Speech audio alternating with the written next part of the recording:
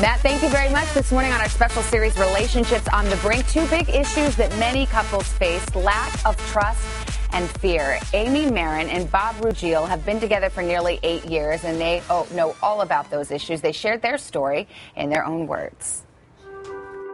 We met at a party. No, we met at a bar. Oh, at well, a bar. it was a bar restaurant. It was a bar restaurant. There was a spark right away. There was a few complications. I was married, and that was a, a major complication. There's that thing in the back of your mind saying, "What are you doing? You know better than this." And something sort of continued. After Bob got divorced, he said, I, I want to be in a relationship with you. Was he really ready? Was he going to do that again? That was my fear, and I still have that fear a little bit. I, the trust, you know, issue is always kind of there. I saw all the pain and suffering around that whole infidelity issue. And for me, I realized I'm I'm never going to make that mistake again. I always feel like things aren't, aren't going to last.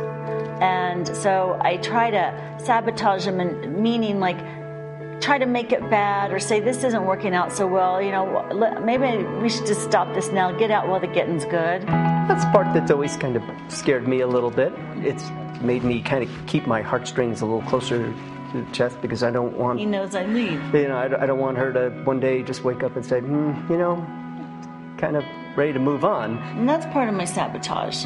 So I don't get hurt, I'll leave.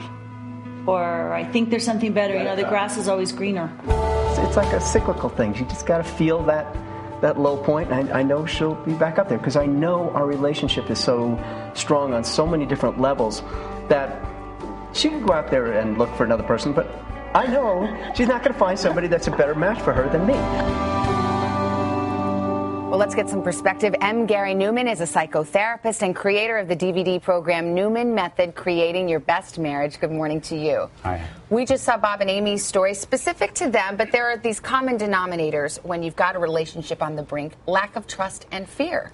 Sure, and what we always have to remember is we always have to nurture the emotional end of the relationship. In my study, even cheating men, only 7% of them said it was about the sex. 48% it was about the emotional connectedness. So everybody has to remember if we nurture that emotional connection, that's the best protection, and that ultimately builds trust and protects our love. We talked uh, about Amy, and she's a product of divorce. She herself was divorced.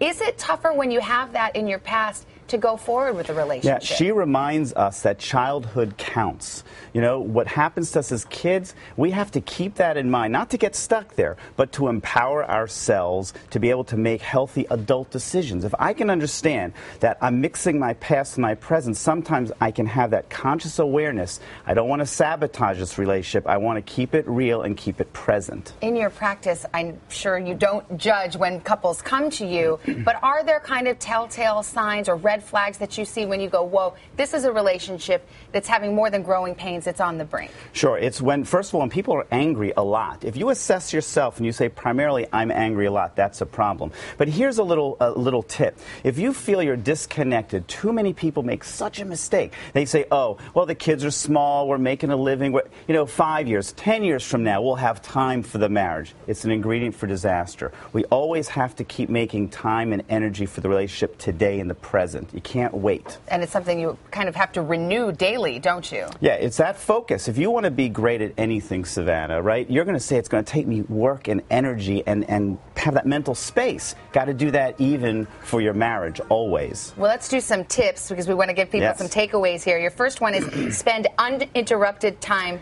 talking, and you've got some no nos about subject areas. Oh my goodness! Well, first of all, uninterrupted time means no cell phone. Uh, you could people get afraid if you say turn off your phone. I had a woman recently tell me she walked into a lingerie shop and she said, "Could you please get me something that my husband's really going to be interested in me? You have anything that makes me look like his iPhone? you know, oh that's what it's come to. Yeah. Don't talk about work, money, and kids because that's what everybody's always talking about the business of life, and it doesn't make us happier. Go do new fun things things together. Okay, your second tip show appreciation for each other. This seems simple, but people forget. People forget they don't do it. And people say, you know, oh, they're a good provider, they're a good parent. Why should I appreciate them? That's what they're supposed to do. Come on. We get married because we want someone to sum us up as good. That simple, I love you and I care about you, and a hug, they go a very long way. They make a big difference. And you just mentioned it a little bit.